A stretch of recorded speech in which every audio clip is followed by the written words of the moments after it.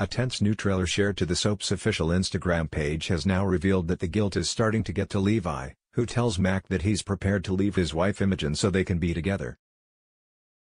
Although Mac tells Levi not to end his marriage for her, the trailer reveals that they can't stop carrying on with the affair even though they know it's wrong. However, it looks like the pair could soon be caught out, as they worry that Alf Stewart may have spotted them kissing. Will Alf expose them if he did?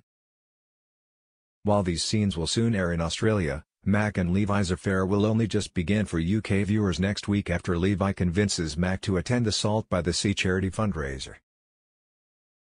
Where in Summer Bay, Justin Morgan will face heartbreak in scenes airing in the UK next week. Justin continues to struggle with having no contact with his partner Leah Patterson, who is at a clinic receiving support for her mental health after she threatened Justin with a knife.